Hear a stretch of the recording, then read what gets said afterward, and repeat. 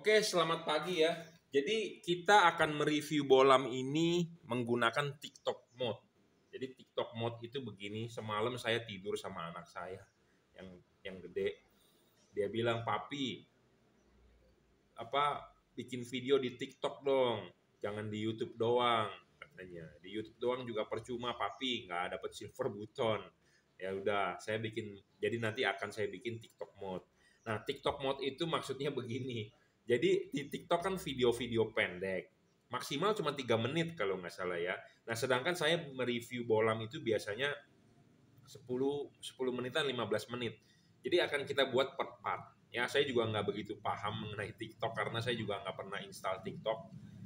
Uh, tapi ya kita akan bikin per part. Jadi per, per video 3 menit. Nah nanti anda akan lihat videonya ya uh, per 3 menit yang udah kita gabungkan kalau masuk YouTube. Tapi kan kalau di TikTok adalah uh, perbagian ya. Anda bisa follow TikTok saya @jungkiwenas ya, @jungkiwenas seperti biasa.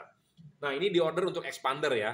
Untuk expander jadi Anda jangan lupa kalau beli bohlam sama saya pasti saya kalibrasi ya. Bohlam ini adalah uh, Cree Double Cooper PCB XHP 50 second generation 5500 Kelvin real 30 watt ya.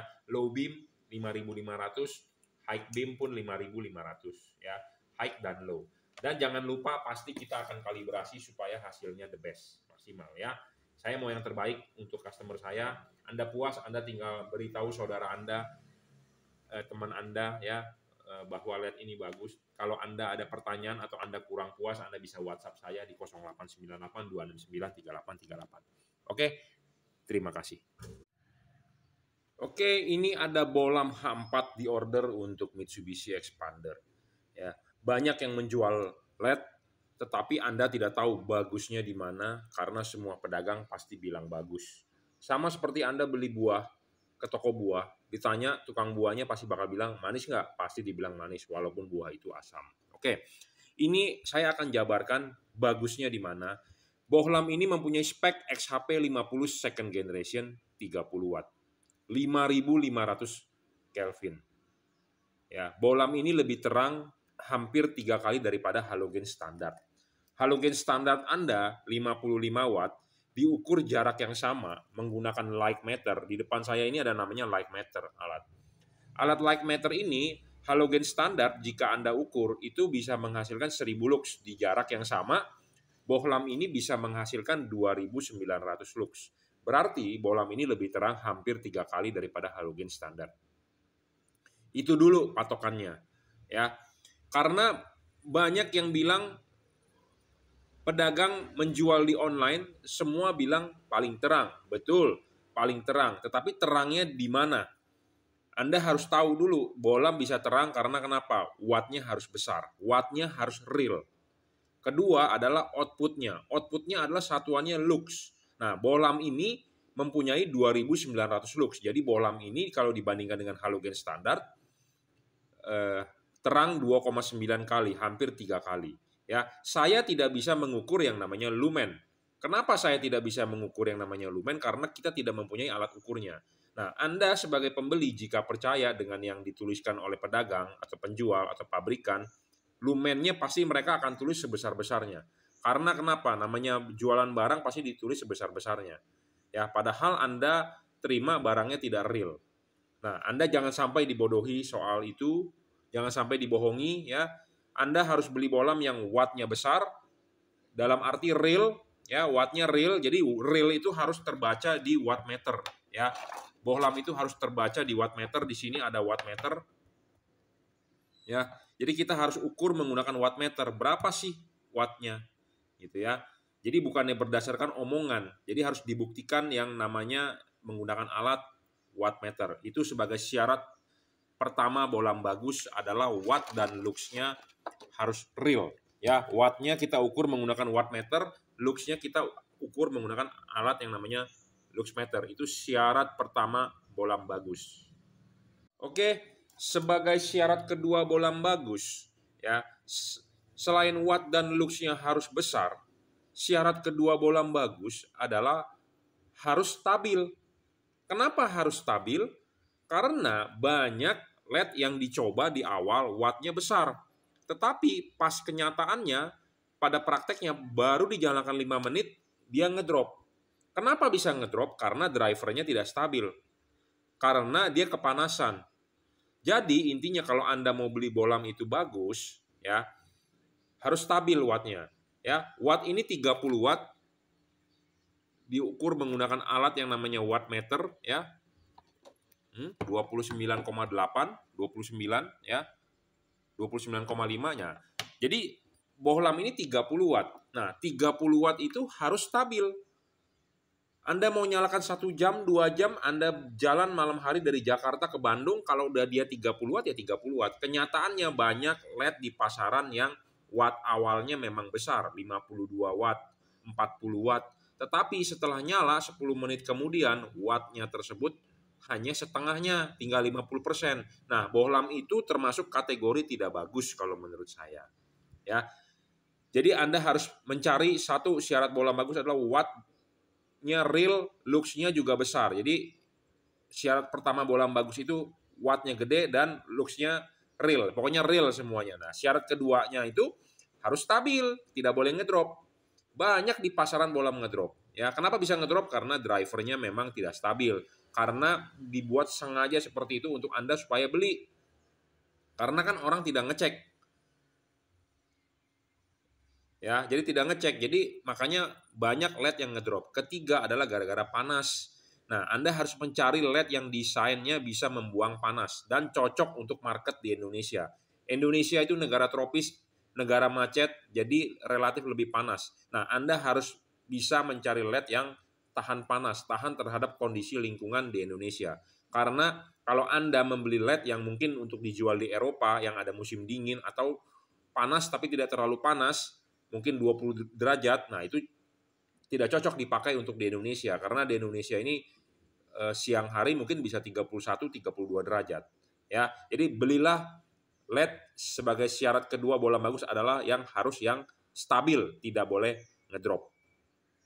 Sebagai syarat ketiga bolam bagus adalah bolam tersebut harus bisa adjustable. Kenapa kita harus cari bolam yang bisa adjustable? Karena kita untuk menggeser bayangan gelap. Kedua adalah untuk membentuk cut off, ya, membentuk cut off. Ketiga untuk memfokuskan sinar, ya. Ini bisa di adjustable arah jam 11, jam 12, arah 11.30, arah arah 11.45. Jadi intinya kalau Anda beli bolam yang fix fokus tidak bisa di adjust, Anda rugi belilah bolam yang bisa disetel ya untuk menguntungkan Anda. Kenapa? Karena reflektor mobil kita adalah punya halogen.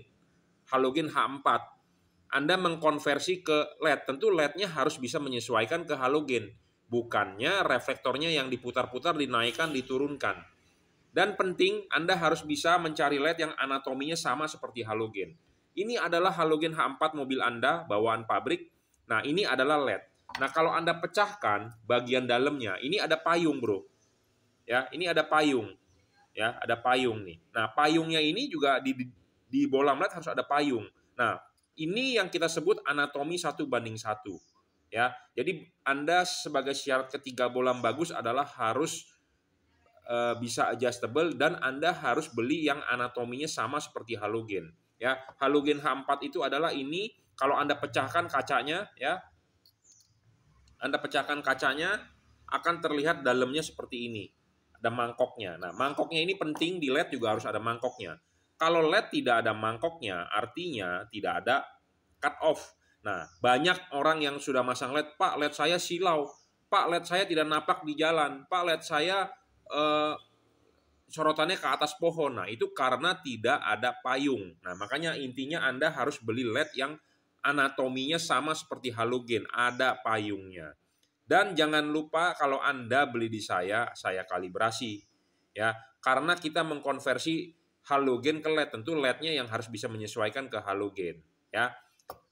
Payungnya akan kita buka ulang atau akan kita papa sedikit atau akan kita gerus supaya hasilnya lebih maksimal, ya. Jadi syarat ketiga bolam bagus adalah harus bisa adjustable dan Anda belilah ke pedagang yang mengerti soal kalibrasi ya. Karena penting supaya cut off-nya bagus, fokusnya bagus, sinarnya napak di jalan ya. Syarat ketiga bolam bagus adalah itu. Sebagai syarat keempat bolam bagus ya Anda harus membeli LED yang sebagai syarat keempat bolam bagus sebagai syarat bonus. LED tersebut adalah harus bisa diservis. Kenapa bisa diservis? Karena kalau rusak tidak dibuang. Ya, banyak LED eh, di pasaran merek apa pun dijual banyak, tetapi kalau rusak buang. Ada garansi betul, tapi di luar garansi eh, rusak buang. Nah, Anda kalau mau beli LED yang bisa diservis, ya dalam arti kalau rusak tidak dibuang Anda bisa beli merek ini ini keluaran dari juragan lampu ya bohlam ini bisa diservis dalam arti jika chipnya rusak sebagai syarat bonus e, bohlam bagus. Jadi kalau kalau chipnya ini mati kita bisa replace kita bisa ganti ya.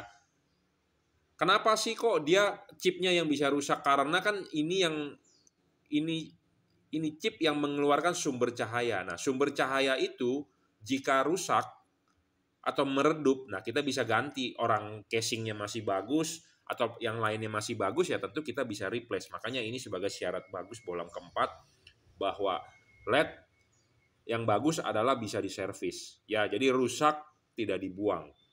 Ya, ini hanya bisa untuk tipe Cree XHP 50 second generation double Cooper PCB keluaran merek dari juragan lampu ya. Jadi bisa kita ganti chipnya. Oke. Syarat selanjutnya bolam bagus adalah bolam tersebut harus tidak boleh storing. Ya, banyak bolam di pasaran storing. Kenapa sih storing? Apa itu storing? Jadi Anda pakai itu LED. Pas Anda lampu Anda nyalakan radio mobil Anda lagi dengar radio nih, radio mobil Anda suaranya hilang. Suaranya kresek-kresek atau suaranya mengecil. Nah, itu artinya storing. Jadi lampu LED Anda storing terhadap radio. Lampu LED Anda bisa storing juga terhadap TV monitor Anda. Lampu LED Anda bisa juga storing terhadap eh, sensor-sensor di mobil Anda karena mobil zaman sekarang sudah full sensor.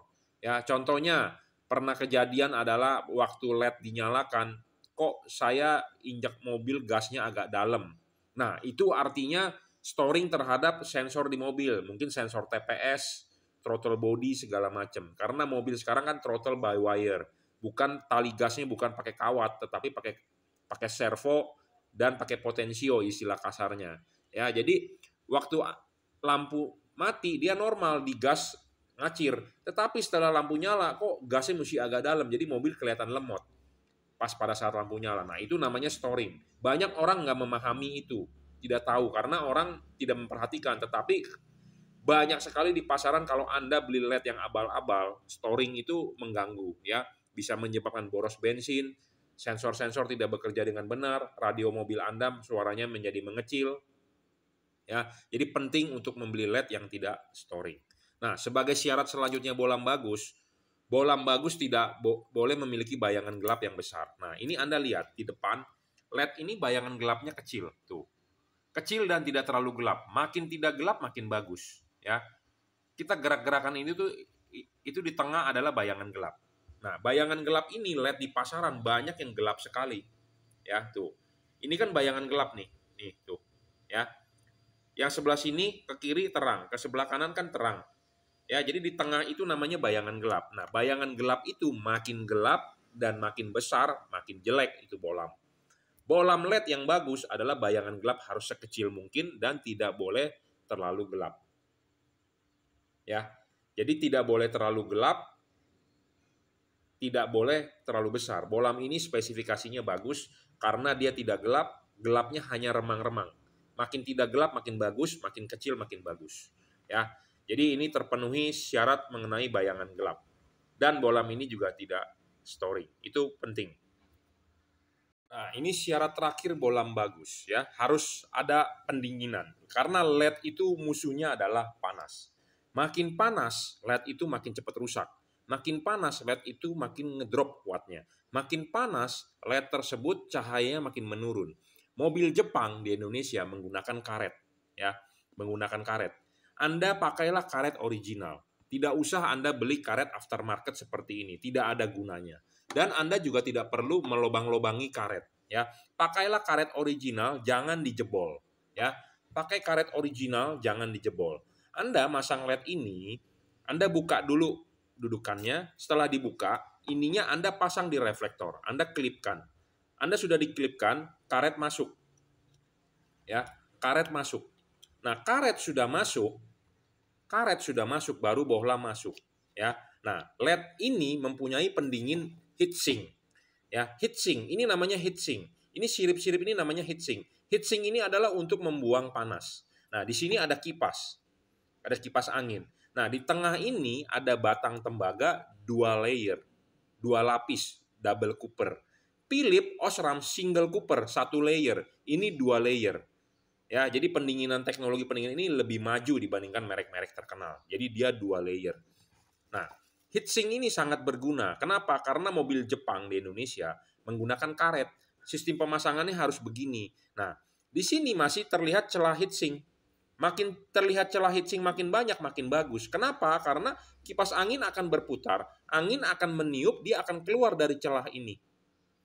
Ada yang menganggap bahwa angin ditiup keluar. Oke, ditiup keluar, angin akan disedot dari celah-celah ini. Sirip-sirip ini. Jika Anda beli LED yang tidak ada heatsinknya, artinya akan terbungkus langsung oleh karet seperti ini. Artinya kipas angin berputar, angin tidak bisa meniup. Kenapa? Karena buntu. Buntu angin tidak bisa tembus. Atau menurut Anda sedot. Dia tidak bisa menyedot angin karena kenapa? Buntu, tertutup oleh karet. Karena desain mobil Jepang di Indonesia, Toyota, Honda, Suzuki, Mitsubishi menggunakan karet. Nah, makanya penting harus ada heatsink. Heatsink ini makin gede, makin bagus, makin tinggi, makin lebar, makin bagus, siripnya makin banyak, makin bagus. Ya. Jadi syarat pendinginan penting karena musuhnya LED adalah panas. Panas wattnya turun, panas umurnya pendek, panas cahayanya meredup. Ya, sebagai syarat pendinginan harus terpenuhi.